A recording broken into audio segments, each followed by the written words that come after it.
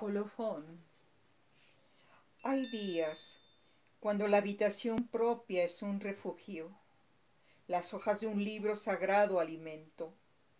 Recordar la fortaleza de pasadas batallas con hombre y mujeres de lomos de fuego.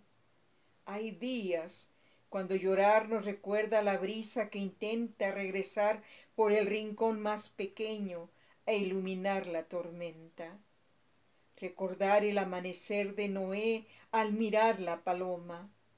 Entonces todas las plegarias limpian las sombras y el sol florece sobre el corazón.